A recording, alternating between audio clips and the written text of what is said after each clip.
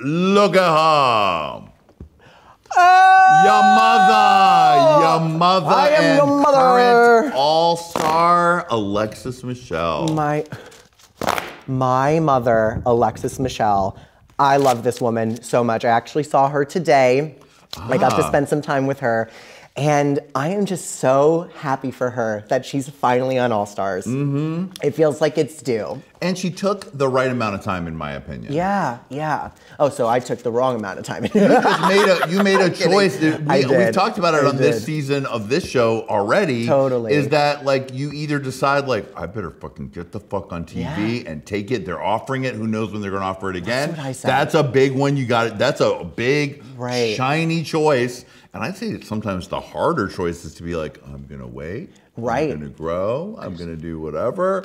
I mean, it's just two valid choices. me, anxious Annie over here, I was like, they're never gonna call again, so I gotta get in right I now. I mean, who can blame you, Jan? Totally. But I'm so happy that Alexis took her time. I mean, not that she really had much to go and to build upon. I mean, if we're gonna get critical, maybe the runways on the season, but that was something that was beyond her control on season nine. And I know that this bitch really put her all into All Stars 8, and I just can't wait for everyone to see it. I Oh, mean, yeah. this promo look, how yanked is she? I mean, how yanked is this bitch? The body. It's insane. She's never looked better. I love this outfit. It's one of my favorites. I remember um, I met her. So, how I met Alexis was I did a competition my very first time in New York City. I competed against Brita and Aja, and it was my very first time like out in public doing Brita drag. and Aja, tough competition. And guess who took home the crown that night, doll? Me.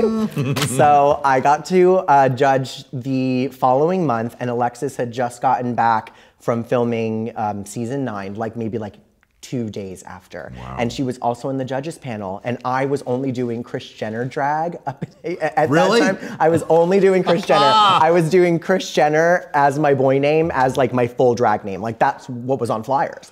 And Alexis. Jan, wait. I, I just like I need to get back The to shock, that. oh, you yeah. were Kris Jenner, one name, and that was what you were doing. Literally, I was. Fabulous. I literally was like, I have no idea what my what I really did. I fell into drag. I did not mm-hmm. even know that what I was doing was going to be what this became. Like I saw an episode of Keeping Up with the Kardashians, and I was like, I don't know what this is, but I'm gonna do a three minute monologue and then sing afterwards. And it was my version of mix, and I had I didn't even know that there was a term for it. Right. And I did that mix. I did my second ever Kris Jenner mix. And Alexis was in the audience. Well, she was on the judges panel with me.